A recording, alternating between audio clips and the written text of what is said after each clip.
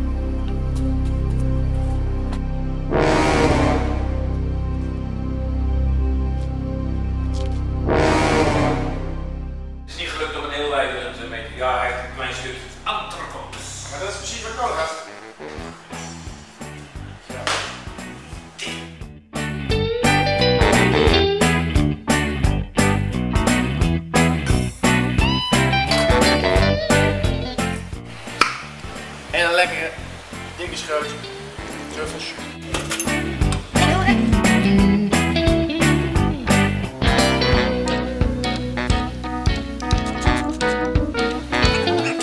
Carpaccio is van origine een, rauw, rauwe bereiding. Is geen aangebakken of iets dergelijks. Maar ik vind het wel zo lekker dat je toch even kort rondom eh, een, knappig korstje krijgt.